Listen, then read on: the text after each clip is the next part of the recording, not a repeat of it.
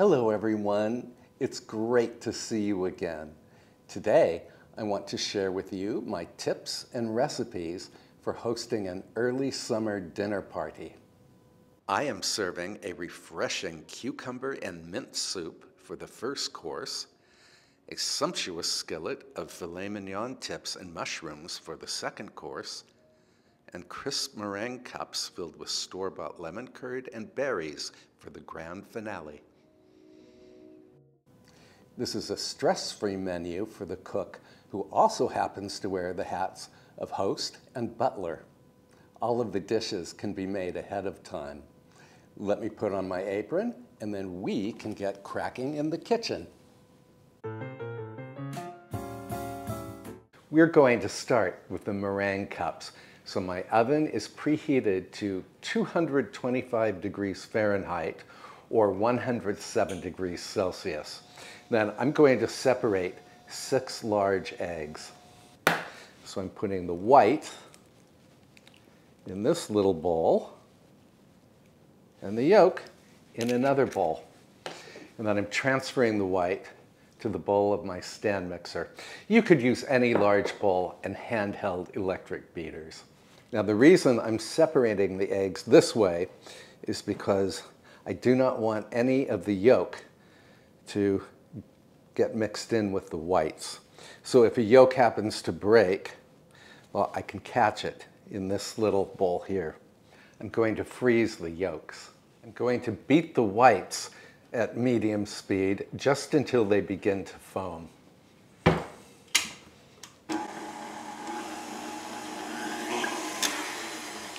The whites are foamy, so now I'm going to add a quarter teaspoon of cream of tartar. This is just to stabilize the whites. Then I'm going to start beating again and I will gradually add one and a half cups or 300 grams of regular granulated sugar. We're simply making meringue here. And I'm going to beat the whites at high speed until they form stiff peaks.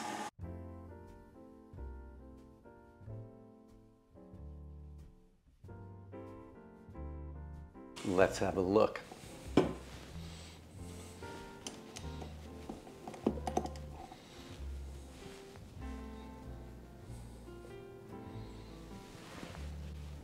Stiff peaks. I'm going to transfer all of this meringue to a pastry bag and I have outfitted the bag with a tip. You could use a star tip or just a wide tip. I like to put the bag in a tall vase so that it's easier to fill.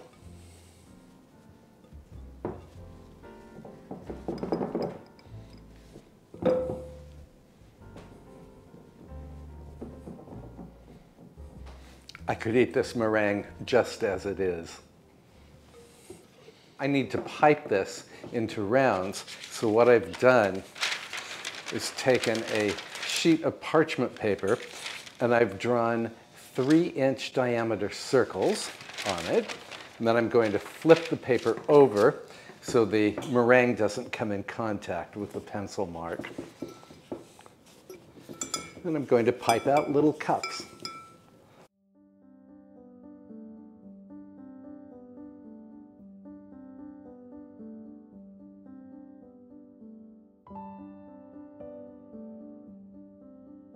I'm going to pop these little cups into the oven until they are very dry. That's going to take from 45 minutes to one hour.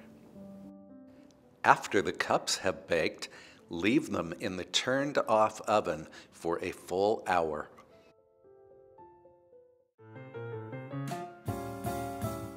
While the meringues are baking, I'm going to go ahead and make the soup. This is a cold and refreshing cucumber soup. Nothing could be easier to make. So I have a couple of English cucumbers here. Lop off the ends. I already lopped that end off. Oops, I'm putting them in my mint. I like to remove the seeds, so I cut the cucumber in half and then I cut it lengthwise in half and then I need a spoon. The seeds can be bitter, that's why I remove them. You just take a spoon and scrape. The seeds come right out. I like using English cucumbers because they are far less bitter than regular garden variety cucumbers. You'll be glad to know that this soup requires no cooking whatsoever. Roughly cut the cucumbers into half moons. The other good thing about English cucumbers is that you do not have to peel them. Transfer the cucumber pieces to a blender. I'm using my Vitamix blender, but this recipe should work with any powerful blender. Now I'm adding the zest and juice of two limes. You could use lemon here. I love the scent of lime. This is a microplane zester. It works great because it only removes the fragrant peel and none of the pith. I will link this in the description below if you are interested.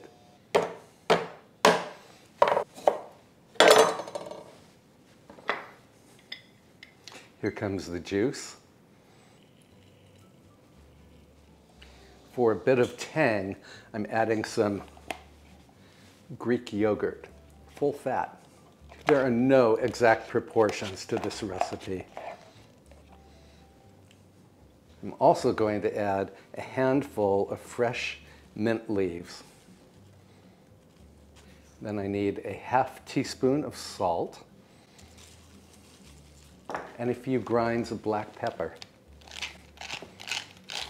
For just a hint of sweetness, I'm adding some local honey.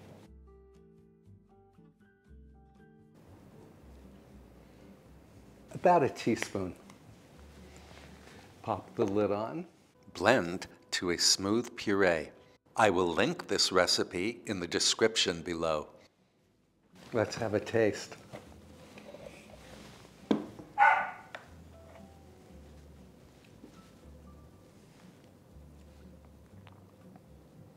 Oh, this is gorgeous. I'm going to transfer this to a pitcher. Now, if the soup is too thick for your liking, you can always thin it out with some heavy cream or even just water. I'm going to cover this and then pop it into the refrigerator. And tomorrow, when we have the dinner party, I'm going to determine whether I want to thin this out at all. I'm going to serve this in probably small cups, so this will certainly be enough for at least four servings. The meringue cups are all baked and they do look beautiful. I'm going to let these cool to room temperature and then I will put them in an airtight container. And then tomorrow, shortly before the dinner party, I'm going to fill them. Also tomorrow, I'm going to do a flower arrangement and set the table. So I will see you tomorrow. Hello, friend. It's the next morning, and I am getting ready to head off to the local supermarket in search of inexpensive flowers for the dining table. And I have to warn you, the air quality here is just terrible. I'll explain why during our drive. Off we go.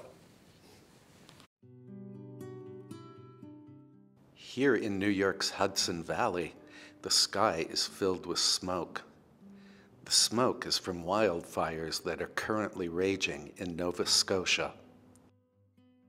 My heart goes out to the people, pets, and wildlife affected by the fires.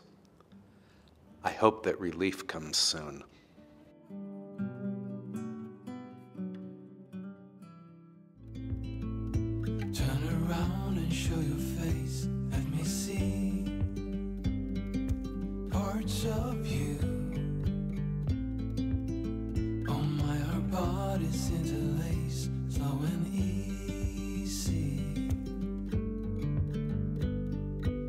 Can reach you from a distance.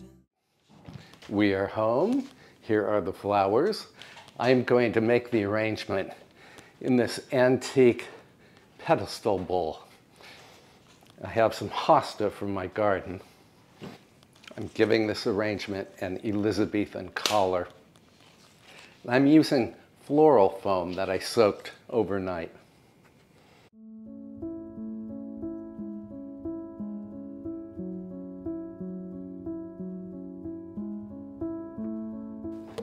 Please remember that I am not a professional flower arranger. Far from it.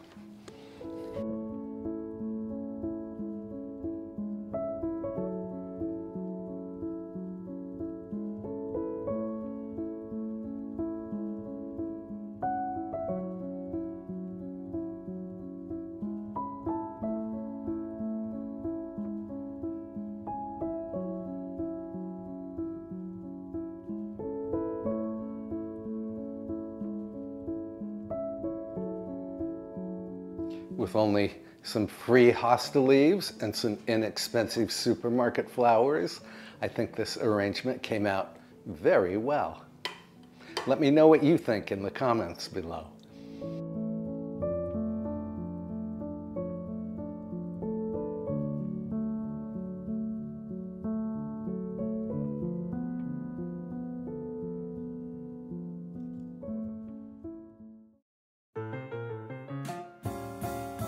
For this party, I've decided to use my white and gold chargers and my signature blue and white dinner plates.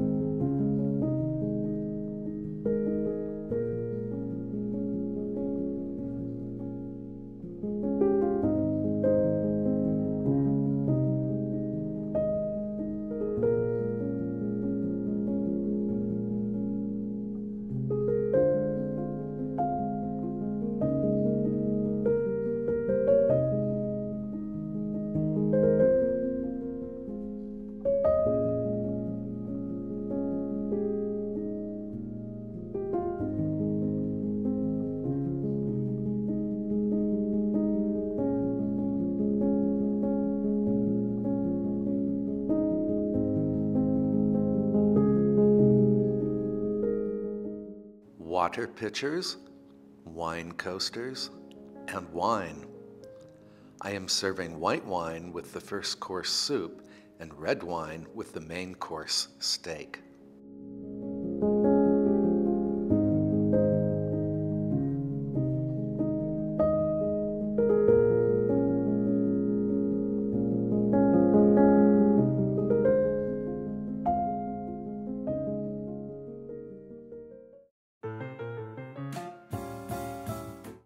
As a side dish for the main course, I'm going to roast some baby potatoes. These are the potatoes that we purchased at Hawthorne Valley Farm a couple of weeks ago.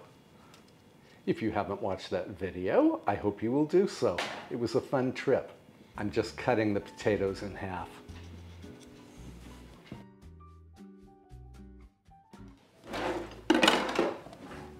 Olive oil salt, and pepper. The olive oil will help the potatoes to brown in the oven. Speaking of which, you want to preheat your oven to 400 degrees Fahrenheit or 200 degrees Celsius. And then pop these into the oven about 30 minutes before you wish to serve your main course, which I'm going to make very shortly and pour the potatoes onto a baking sheet. Spread them about. And if you're not ready to bake them just yet, just pop them into the refrigerator.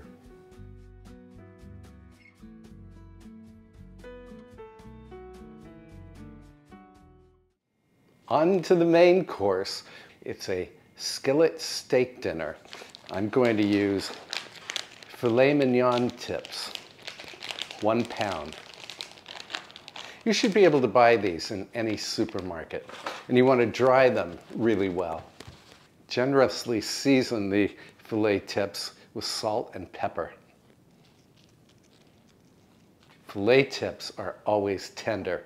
The trick is to not overcook them. Here's the pepper. Then I need one bunch of green onions, which where I live are called scallions. Trim off the root. Then I'm going to thinly slice the scallions or green onions. I will link this recipe in the description below. Besides the green onions, I also need a half to one pound of sliced mushrooms. My supermarket had these mushrooms already sliced. Very convenient. We'll also need some fresh tarragon. We're going to move to the stove top now. I'm going to use my cast iron skillet for this dish. When the skillet is hot, add a glug of oil. I'm using light olive oil because it has a higher smoking point than extra virgin olive oil. And we're going to brown the meat on both sides. This should only take two minutes. When the meat is nicely browned, which again should not take more than two minutes, transfer it to a plate and keep it warm. In the same skillet, melt two tablespoons of butter.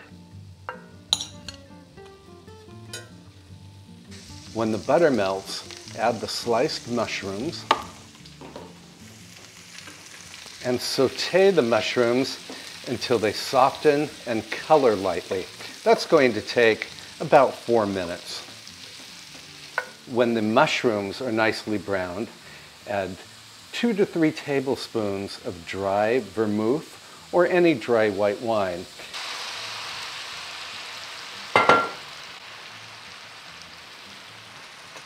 As the wine boils, use a spatula to scrape up any of the stuck-on bits from the bottom of the pan. Those bits are loaded with flavor.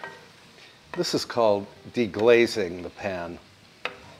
Then stir in the scallions and about two tablespoons of Worcester sauce. Also stir in one tablespoon of Dijon mustard. I've read that this was Princess Diana's favorite mustard. Give that a stir. Oh, this smells wonderful already. Then toss in a handful of the tarragon leaves. If you think it needs it, add another pinch of salt and some grinds of black pepper.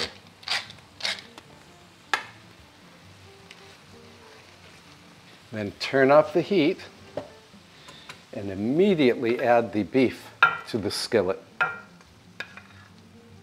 Remember, this is filet mignon. You do not want to overcook it. I'm going to transfer this to a 200 degree Fahrenheit oven just to keep it warm until dinner time. My guests are arriving shortly. So I've looked at the soup that we made yesterday. It's been in the refrigerator overnight. It's very thick now, so I am going to thin it out with a little half and half. You could use heavy cream here or even water. I like to plate the soup in the kitchen. This way I can garnish it before bringing it to table. I am garnishing the soup with small basil leaves. You might prefer to use mint leaves here. To accompany the cucumber soup, I'm serving slices of baguette. Now that the soup course has been served and the soup cups have been cleared, I am bringing the main course and the potatoes to table.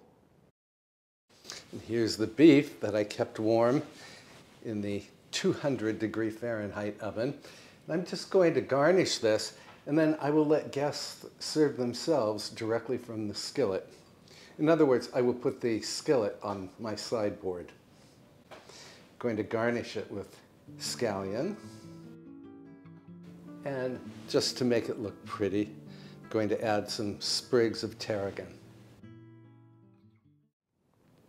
I love the layers of flavor in this dish. In particular, the Worcester sauce and the tarragon and everything else we put in this. And of course, the mushrooms are fabulous too. On to dessert. For the crispy meringue cups, I am cheating big time by using store-bought lemon curd. To cut the sweetness of the curd, I am adding a pinch of salt. And to enhance the hue, I am adding a tiny amount of food coloring. Fresh blueberries and blackberries complete the picture.